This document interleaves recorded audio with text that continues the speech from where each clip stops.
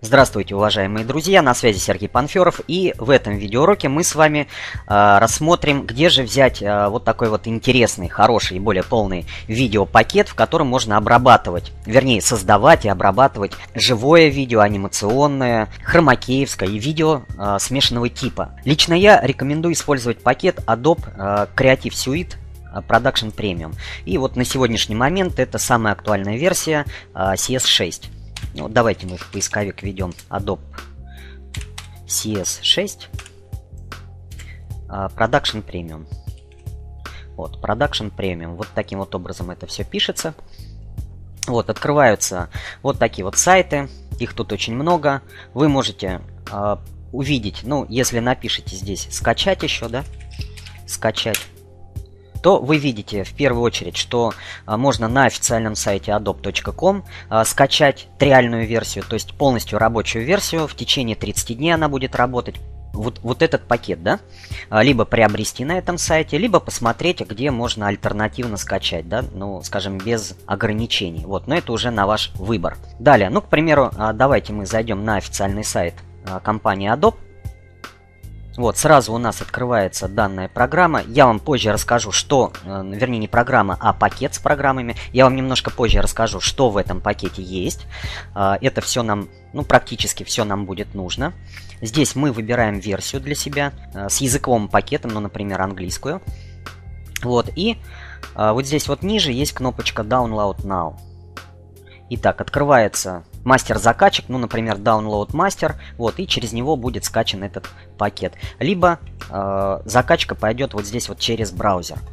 Далее, после того, как вы скачаете данный пакет, у вас либо запустится э, уже авторан э, меню для установки его, либо э, вот такая вот папочка, да, либо э, архив, который надо распаковать, и вот такая вот папочка будет у вас на рабочем столе. Вот, если у вас э, инсталлятор не запустится, то вот здесь вот э, в данной папочке Adobe CS6 CS6, да, есть э, запускной файл. Вот мы его два раза кликаем, вот, и открывается вот такой вот авторан меню.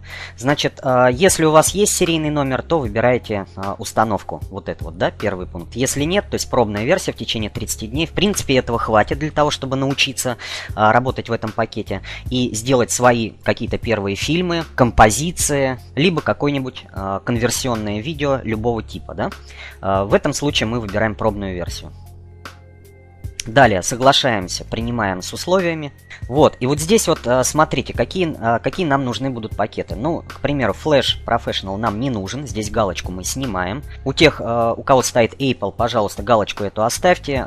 Те, кто работает на Windows, в принципе, ее не обязательно ставить. То есть можно снять. Далее, Adobe After Effects. А, программа для композитинга и спецэффектов, да, это классная программа. Вот, мы оставляем эту а, галочку здесь.